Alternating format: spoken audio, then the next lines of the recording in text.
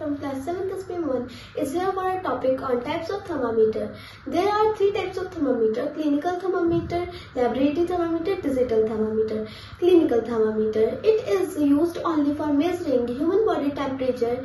It is also known as doctor's thermometer. The normal body temperature is 36.9 degrees Celsius. Laboratory thermometer.